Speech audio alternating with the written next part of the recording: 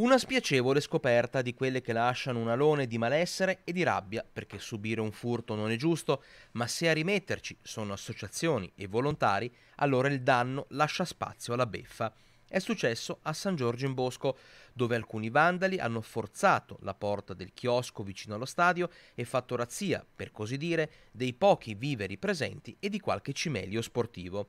Non è la prima volta che qualcuno si introduce nella struttura.